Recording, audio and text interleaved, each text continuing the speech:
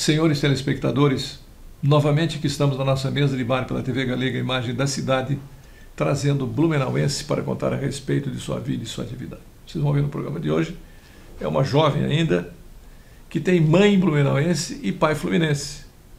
Vamos saber onde é que ela nasceu. É a Ellen Mike Oliveira. Tem Tudo bom? Mesquita de Oliveira, né? Mesquita de Oliveira. Oliveira. Mesquita por causa da mãe e de Sim. Oliveira por causa do pai. Isso. Você é blumenauense, é paulista, é carioca, é fluminense? Eu sou fluminense também. Fluminense. Mas torce pro Flamengo? Não, não, pro Fluminense também. Na verdade, eu sou mais anti-flamenguista. ah, então tá bom. Não, essa parte pode cortar, mentira. E você nasceu onde? Eu nasci em Nova Friburgo, região Nova Friburgo. serrana lá do Rio.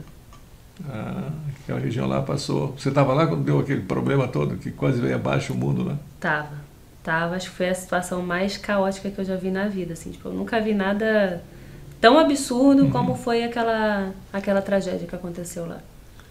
É porque pegou Nova Friburgo, pegou Teresópolis também. né? Foi, foi Nova Friburgo, Petrópolis. Petrópolis, Teresópolis, toda aquela região serrana, Cordeiro, Uhum. Cantagalo, Macuco, Cachoeiras de Macacu, Cachoeira pouco, mas assim, tipo, Uhum. mais pra parte de cima lá, pegaram praticamente todas as cidades.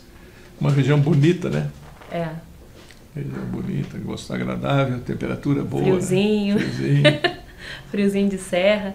E foi assim, tipo, na época até eu tava trabalhando num, num supermercado, Uhum. e aí tinha uma vizinha minha que trabalhava no mesmo lugar que eu. E aí eu acordei assim meio tarde, porque eu sou louca por chuva, adoro chuva. Uhum. E aí eu abri as janelas assim, eu dormi assim, tipo, nossa, feliz da vida, né? Tava caindo o mundo. E aí acordei, até perdi meio que a hora até, eu falei com meu irmão, meu irmão já tava voltando já da rua já, que ele também ia trabalhar cedo. Aí ele, ó, não tem como sair de casa, não tem como ir. Eu, deixa de ser malandro, você não quer ir trabalhar. Aí eu falei, se eu não for e minha vizinha chegar lá, vão achar que eu não quero trabalhar. E de lá de casa tinha muitas saídas. Tinha várias formas da gente sair de lá.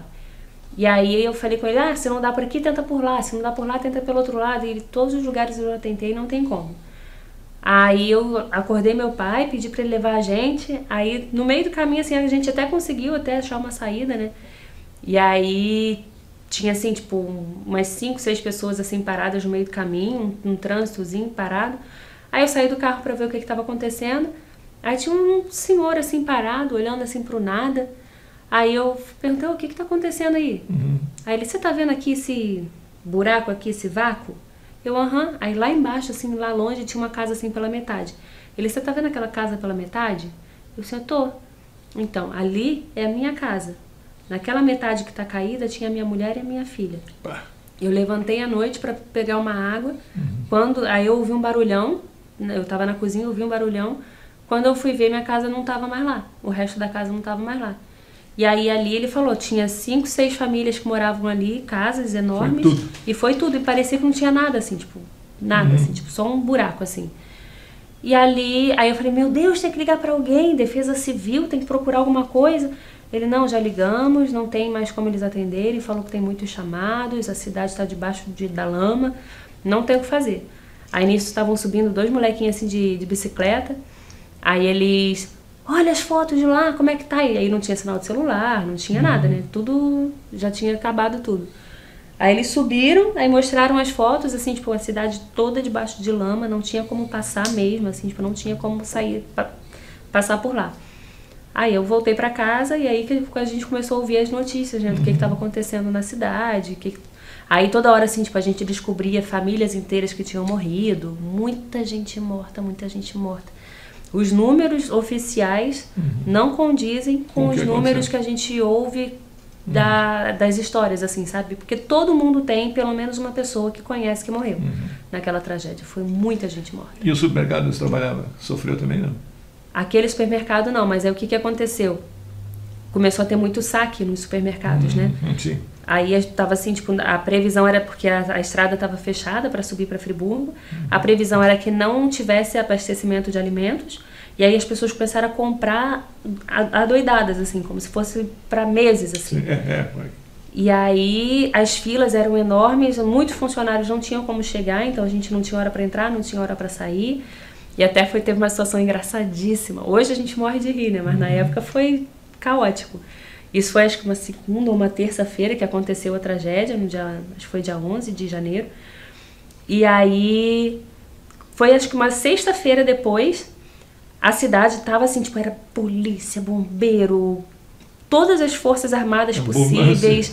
Parecia assim filme de fim de mundo, assim, sabe? Uhum. Para cima e para baixo, corpos passando assim em ônibus, em caminhões e tal. E aí, numa sexta-feira, acho que acho que foi uma sexta-feira. Passou já um tempo já da tragédia, né? Uhum. Aí eu tava lá no caixa, passando os alimentinhos assim e tal, passando as compras. E aí foi uma correria. Todo mundo correndo, correndo, correndo, correndo. E eu, gente, o que que tá acontecendo? Todo mundo corre, só corre. Aí eu, tá, mas correr para onde? Eu não sei o que que tá acontecendo. E os carros na rua, tudo correndo e tal, e eu não tava entendendo o que que tava acontecendo. Aí eu trabalhava assim de frente para uma escada, eu pensei, eu vou subir, já que tá todo mundo para um lado aqui, eu acho que não vai ser o prédio que vai cair, eu vou subir. Aí fui subindo a escada e alguém descendo correndo, só doida, vai, corre daí, sai daí.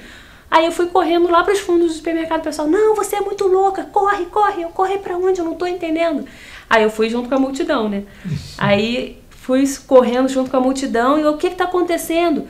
Aí no meio do caminho, meus pais ainda estavam lá ainda, visitando, né, minha avó estava visitando, meus pais tinham indo me levar e eles não conseguiram sair porque tava muita correria, muita muvuca. Aí eles me encontraram no meio do caminho, eles, Ellen, entra no carro, corre. Aí eu corri, entrei no carro e a gente subiu um morro. Aí quando chegou lá em cima, gente, alguém me explica o que está acontecendo. Aí alguém falou, acho que uma represa estourou. Hum. Só que Friburgo já é uma serra, já é tudo é morro. Então assim, tipo, ah, uma represa estourou, o máximo que vai acontecer vai pegar as partes baixas, mas é uhum. muito difícil ter parte baixa é. lá.